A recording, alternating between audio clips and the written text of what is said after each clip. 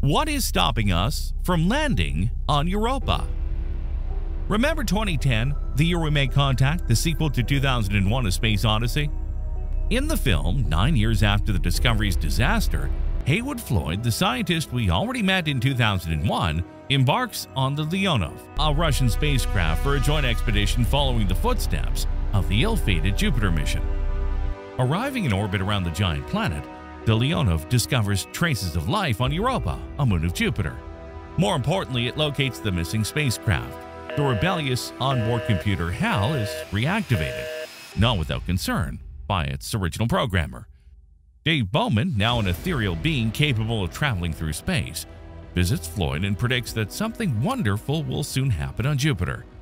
And indeed, something does happen.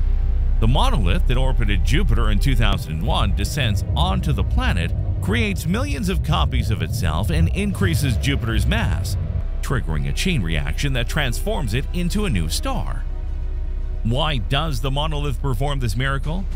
The message Bowman dictates to Earth explains all these worlds, he says, referring to the former moons of Jupiter made habitable by the new star's warmth, are yours, except Europa. Do not attempt to land on Europa. From here, it becomes clear that the mysterious aliens, the creators of the monolith, wanted to give a chance to the creatures of Europa, aiding their evolution as they did millennia ago with mankind's ancestors. You'll admit it's not easy to escape the suggestion of that do not attempt to land on Europa. And wouldn't you know it, what could only appear as a narrative cue in the film's plot became a reality a few years later.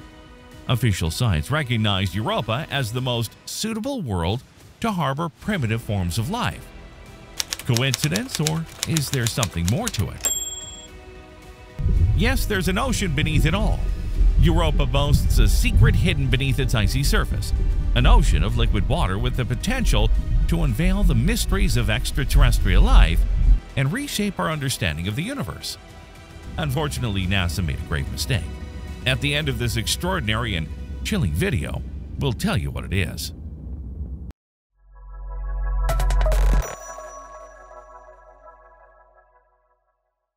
A point of light.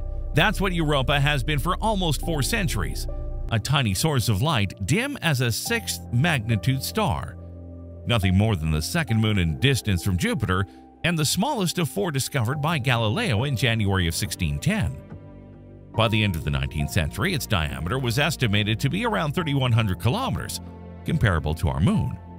It was thus reasonable to think of it as a body very similar, dry and heavily cratered, it was only in the 60s, thanks to the first spectroscopic studies, that suspicions arose about its surface being covered in ice. Then the final word came from interplanetary probes and the first missions to the outer planets. It was Voyager 1 in March of 1979 that first captured close-up images of Jupiter's Galilean moons, particularly Io, Ganymede, and Callisto. Europa, slightly more distant during the flyby, had to wait for Voyager's 2 arrival in July of 1979.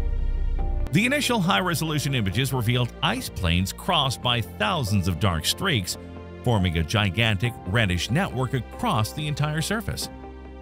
Filamentous structures were interspersed with vast plains disturbed by chaotic terrains and dark regions scattered with brownish-red material.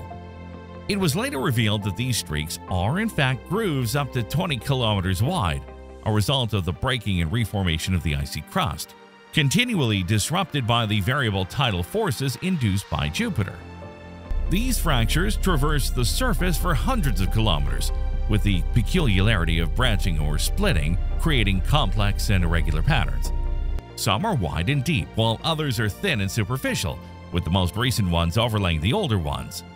If the fractures are ancient, meaning they have opened and closed many times, they form reliefs along their edges throughout their length, similar to the oceanic ridges on Earth when two tectonic plates come into conflict. Then there are bright or dark regions that stand out from the rest of the surface, which typically has a white yellowish color. They result from variations in the chemical composition or temperature of the ice. Some are large and round, others are small and irregular, single or multiple and overlapping. From the start, the probes revealed something even more extraordinary the almost complete absence of impact craters. There were some, but not as many as one would expect from a planet with little to no atmosphere. Someone took the time to count them, and it seems there are only 3,500 with a diameter greater than 1 kilometer. At that point, three crucial questions emerged at least. 1. Why are there so few impact craters visible? 2. Why is the surface cracking in this way? 3. What is leaking from the planet's interior? Needless to say, all three questions had to be resolved together. Since it is scientifically unreasonable to believe that Europa has few impact craters only by chance, there was only one other hypothesis that could explain the phenomena. Before moving on, don't forget to subscribe to our channel if you haven't already. Make sure to hit the notification bell so you don't miss out on our daily videos. Namely, that the planetary surface had been reshaped over time by particular geological events. In other words, the moon had to be geologically active, meaning there must be a permanent heat source inside Europa. The first clues in favor of this hypothesis came from considering the so-called Laplace resonance, a specific gravitational interaction phenomenon between Jupiter, Io, Europa, and Ganymede. In practice, the revolution periods of these moons are integer multiples of each other. This means that every time Ganymede completes an orbit around Jupiter, Europa completes two orbits and Io completes four. This specific way of orbiting Jupiter causes gravitational perturbations that periodically stretching the moon in all directions result in tidal effects producing heat and significant mechanical effects. This, for example, is the same cause of Io's intense volcanic activity. But it has been calculated that Europa's interior could also be warm enough to melt the ice beneath the surface at depths exceeding 10 kilometers. That's how, although it might have seemed like a bizarre idea, astronomers seriously began to consider that beneath Europa's icy crust, there might indeed hide a vast liquid ocean. The Galileo probe confirmed this notion, Starting from December 1995, it had flown by Europa about a dozen times, capturing thousands of extraordinary photos. More importantly, it measured gravity values just below the icy cover, compatible with a density similar to that of water. Salty water, to be precise. A real ocean, about 100 kilometers deep, with a volume at least twice that of all the Earth's oceans combined. The evidence for some form of water or slush beneath Europa's surface is quite strong based on models of how a buried ocean would influence the ice above it. Measurements of the moon's magnetic field also suggested the presence of an electrically conducive fluid beneath the surface, such as salty water. Later on, what initially appeared as a peculiarity of Europa, the presence of an ocean beneath its surface, was also found on Ganymede, the largest moon in the solar system, and on Enceladus, Saturn's moon. At the time of the discovery, the exceptional nature of this phenomenon prompted NASA and ESA to plan exploratory missions to reach the moon's surface, making it one of the hottest targets in the solar system exploration program.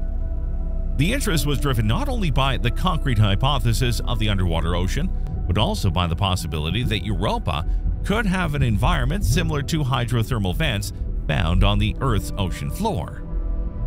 More accurate observations in 2013 by the Hubble Space Telescope allowed the identification of water vapor geysers similar to those previous found on Enceladus.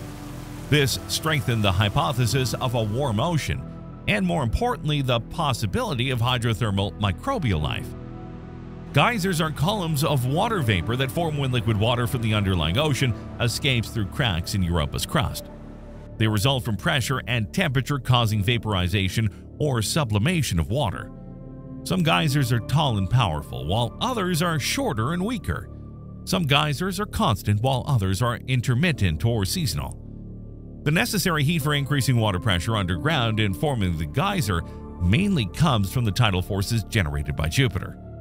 These forces can deform the rocky core, causing friction that releases heat. This heat transfers to the subsurface ocean, which in turn warms the icy crust. In certain locations, liquid water manages to escape through cracks in the crust, forming water vapor geysers. The interest in this phenomenon lies in the fact that geysers could bring materials from the ocean to the surface. Spectroscopic analysis conducted by probes demonstrated that the long reddish streaks on the surface could be interpreted as deposits of magnesium sulfate, essentially the salt residue of water brought to the surface by the geysers, a perfect substrate for organic molecules. Indeed, these features made Europa one of the most intriguing places in the search for chemosynthetic microbial life. However, over the years, partly due to the discovery of other worlds with similar oceans and partly due to the economic crisis reducing space agencies' budgets, interest in Europa has waned, and most probe exploration projects have been abandoned. The only remaining recently confirmed mission is the launch by 2025 of a NASA mission called Europa Clipper. It consists of a spacecraft orbiting Jupiter, allowing it to make 44 close flybys of Europa. Europa Clipper is expected to reach Jupiter by the end of this decade, potentially followed and assisted by the ESA's Jupiter Icy Moons Explorer mission. The latter will fly by Europa twice and Callisto multiple times before entering orbit around Ganymede. From this joint mission, scientists expect confirmations and assessments regarding habitability and the potential for future human settlement on Europa's surface. However, designing a mission for the colonization of a remote celestial body is obviously much more complex than sending an interplanetary probe. While permanent bases on the Moon and Mars may reasonably be expected within the next decade, the colonization of Europa is projected to take at least 100 years, unless of course one of the upcoming probes confirms the presence of life even at the microbial level. In that case, sending a manned mission to Europa would likely become an immediate priority, potentially cutting the timeline in half. Everything depends on the motivation of that particular historical moment. The question at this point is, does NASA truly intend to find signs of life on Europa or on any other object in the solar system? Most of you would undoubtedly answer yes. But then why does NASA operate, plan, and act as if its primary goal were different? This has been observed with numerous missions sent to Mars, primarily capturing beautiful photographs while almost meticulously avoiding sending rovers capable of chemical analyses for life detection, a trend that we've seen since the Viking missions in 1971 over a half a century ago. The same attitude persists with Europa. What's the point of sending an orbiter instead of a surface rover? NASA once again emphasizes that the Europa Clipper mission does not have the direct goal of searching for life, but rather studying the habitability conditions of Europa. The Europa Clipper cannot confirm or deny the presence of life on Europa, but it can provide valuable information to understand if life could exist or have evolved on that moon. This echoes the same refrain sung for Martian missions. Remember? Meanwhile, we have gained certainty that water from Europa's ocean reaches the surface, sprayed by geysers up to tens of kilometers high.